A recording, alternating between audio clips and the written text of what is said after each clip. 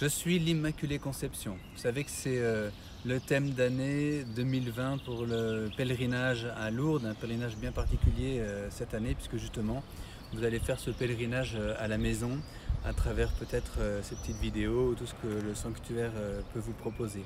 Je suis l'Immaculée Conception, c'est cette phrase que la Vierge Marie a prononcée, elle est là juste derrière moi, mais avant de vous en parler comme ça, je voudrais d'abord vous dire toute ma joie, toute la joie qui habite mon cœur de pouvoir euh, vous parler de, la Vierge Marie. Ça c'est quelque chose de très, très grand, vous savez, pour un prêtre.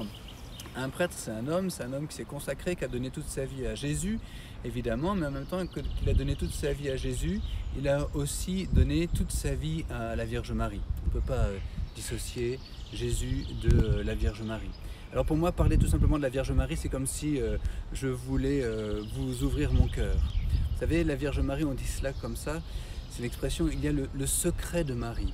Le secret de Marie, ben, c'est tout l'amour de Dieu pour Marie et c'est aussi tout l'amour de Dieu et de Marie euh, pour chacun d'entre nous. Et vous comprenez bien qu'un cœur de prêtre est touché par cela. Alors je vais vous parler de ce secret de Marie qui habite mon cœur.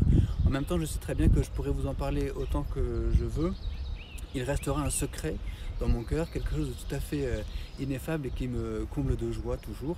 Et ce que je peux espérer en vous parlant comme cela de la Vierge Marie, eh bien, euh, c'est que ce secret de Marie eh bien, euh, atteigne votre cœur et que vous aussi, à votre tour, vous puissiez vous réjouir euh, de prendre Marie chez vous, d'accueillir Marie dans votre cœur.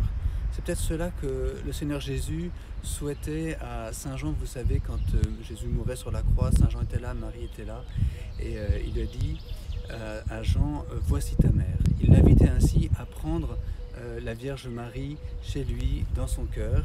Eh bien c'est cette joie que je voudrais vous partager en vous parlant de la Vierge Marie.